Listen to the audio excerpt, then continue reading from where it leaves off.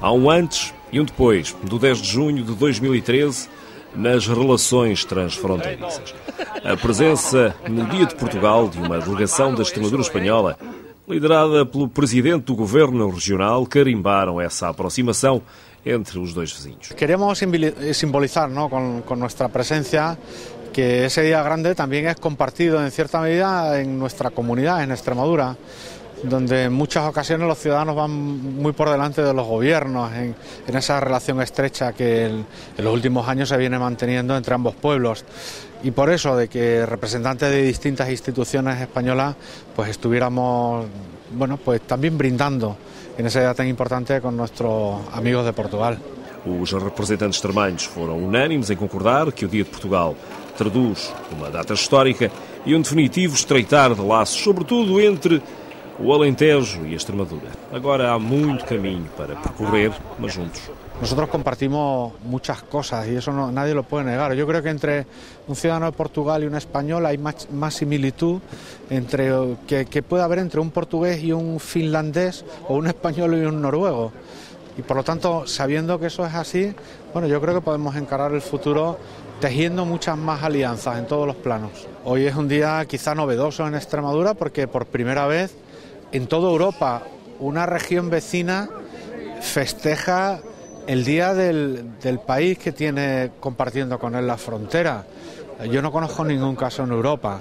Eh, y por lo tanto hoy es un día importante, pero tiene que formar parte de la normalidad en los próximos años. Al menos desde Extremadura vamos a hacer todo lo posible porque así sea. Badajoz y Elba tienen que avanzar en el desarrollo del futuro de forma coordinada porque no se entendería que muchas infraestructuras, muchos desarrollos estratégicos no contáramos el uno con el otro. Da igual el nombre, el nombre lo dará Europa, se llamará Eurociudad, se llamará Euroregión, se llamará en definitiva un espacio común donde de forma conjunta, sin complejo, los elbenses, los badajocenses podamos planificar el futuro de forma conjunta porque creo que ganaremos más oportunidades. Alcalde, definitivamente no hay, no hay aduana. No hay ni frontera, ni aduana, ni raya. Hay un punto de encuentro.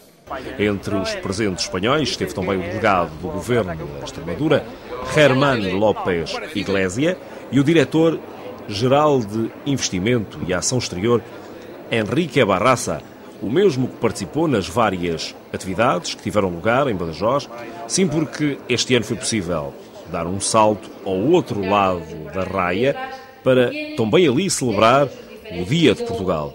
Logo no domingo subiu ao palco aquele que é considerado o pai do hip hop português, o rapper Bossa y Si. Ese era uno de los propósitos, ¿no? Generar en el 10 de junio un conjunto de actividades que fuesen un exponente de, las relaciones que existen entre Extremadura y Portugal.